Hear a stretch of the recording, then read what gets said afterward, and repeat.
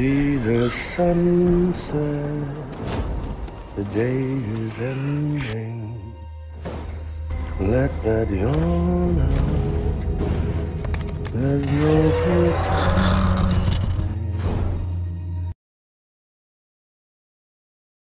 strangers to one another.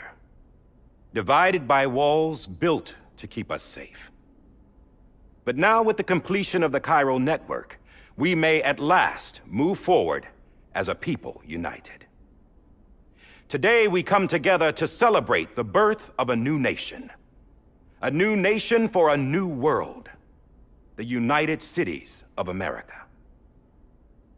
I once took an oath to support and defend the Constitution of the United States. And though that proud republic may be no more, we remain. And so, as your president, I hereby swear to support and defend you, the people. Let there be no more walls between us, nor masks to hide who we are.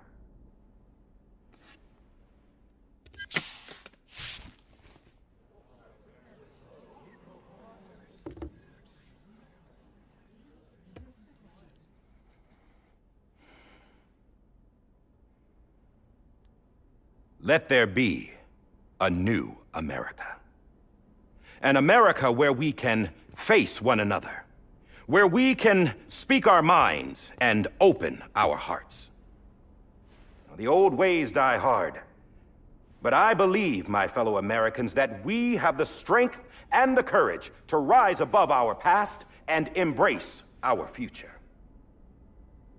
The Death Stranding is a part of that past an enduring shadow, a constant reminder of what could have been.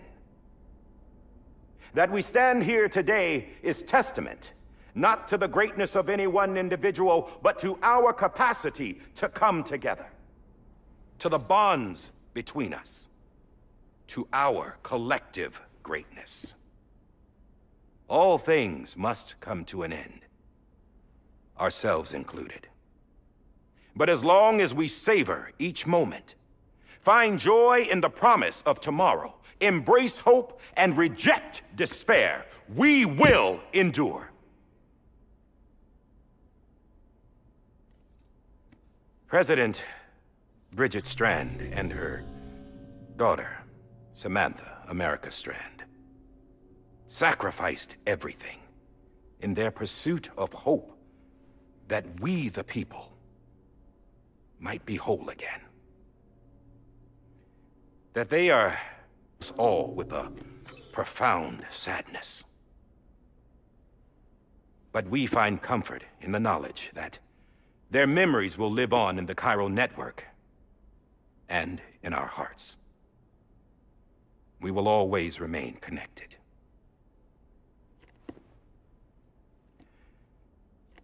There is another hero in this story. One whose achievements seem destined to go unrecognized. America still needs that hero. That person without whom we would not be here. Now, the name is unimportant. But you know who I mean. And for that unsung hero, I have a message. It was you who brought us together. You who made us whole again. And while you and I will eventually pass on, Going somewhere, Sam? Tired of being the unsung hero? No, I'm done is all. She's gone. Come on, wait. There's something I need to tell you. Huh. This doesn't bother you anymore? well, that's great. Now, wouldn't you like to know how we brought you back from the beach? We were going to use the doll, but didn't have one handy, which is when I remembered something else. Not what I think it is. Yes. What could be more connected to Amelie's beach than President Strand's umbilical cord? Hmm. Heartman thought that's why she left it with me in the first place. Unfortunately... It didn't work. Yeah, she'd already cut her beach loose.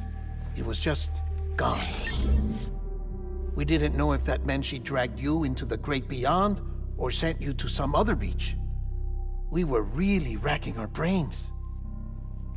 Heartman and Mama split up and started searching every beach you might feasibly have washed up on. We looked for a month with absolutely nothing to show for it. A month on the outside. How long on the inside? Trust me when I tell you, you don't want to know. But don't worry. We found no signs of accelerated aging. In the end, this is what led us to you.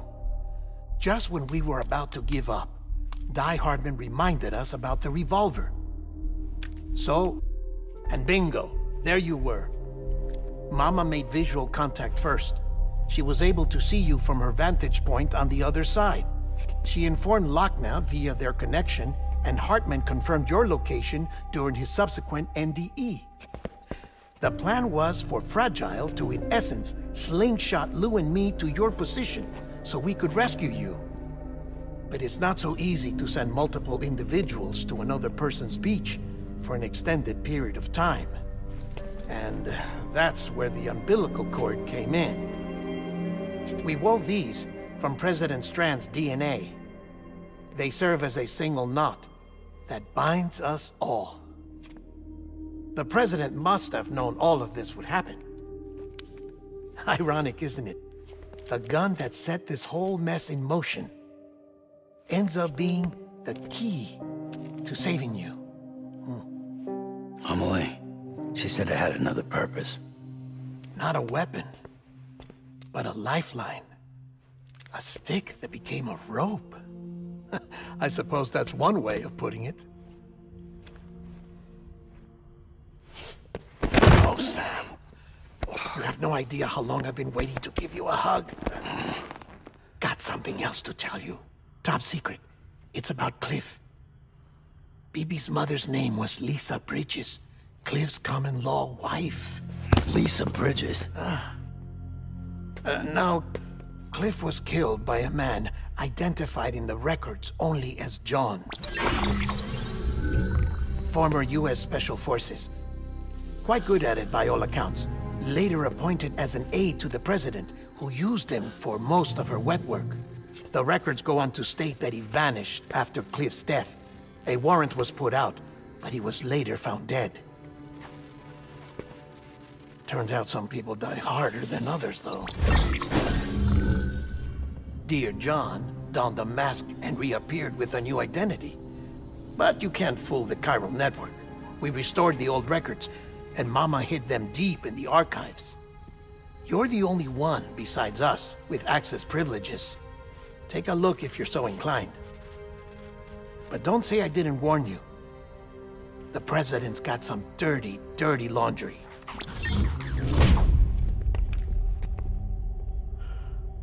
I don't trust him. But I'll work with him if that's what it takes. We'll talk later.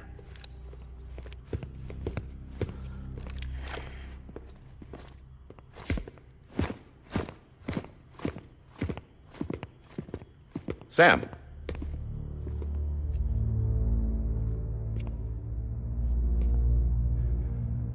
I don't expect you to forgive me. Would you hear me out?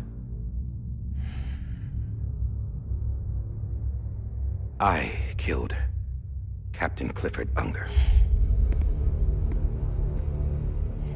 I would tell you I did it for America. For love of country. But I didn't. I did it for her. Because I loved her with all my heart. She was everything to me. Everything. Now, I'm not trying to make excuses. I just want you to know that not a day's gone by when I haven't thought about it. Time didn't help. Or the mask. Please, let me finish.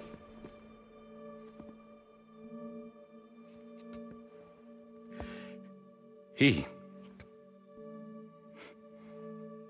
The captain saved my life. You know why they call me Die Hardman. Because he wouldn't let me die.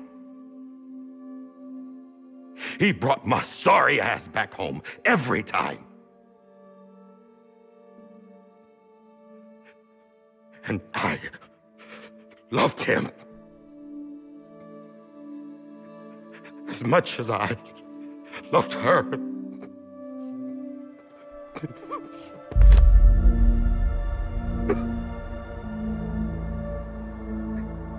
and when he stared me down, that ghost, I knew he was here to kill me, to make it right. And why shouldn't he?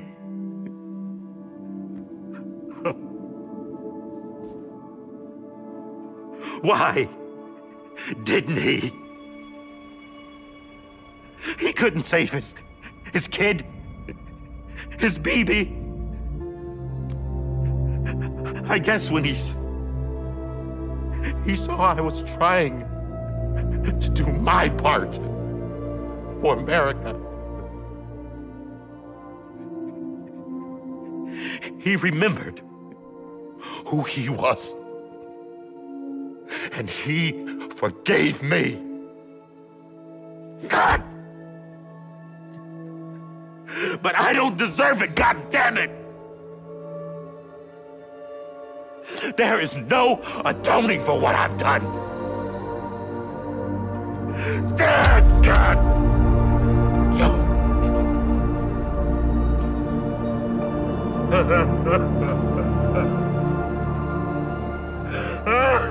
But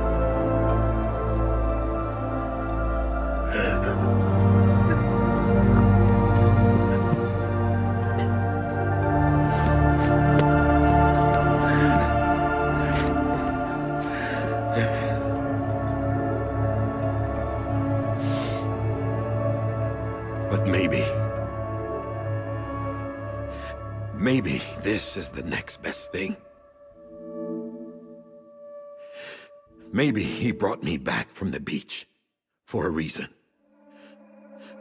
One last time.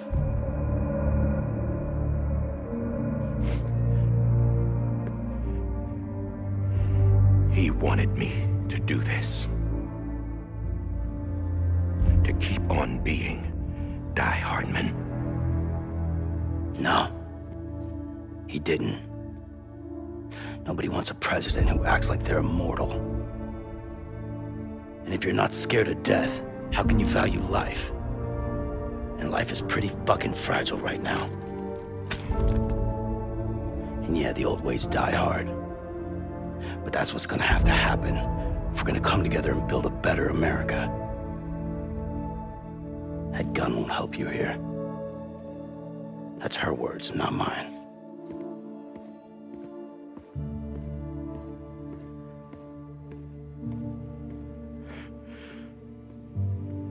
Thank you, Sam.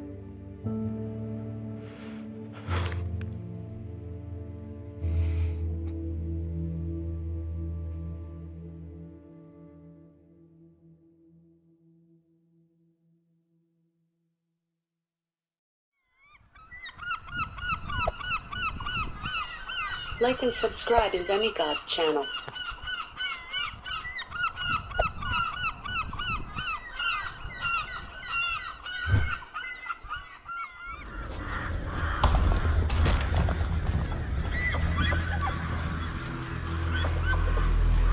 See you on the next video. Have a good one.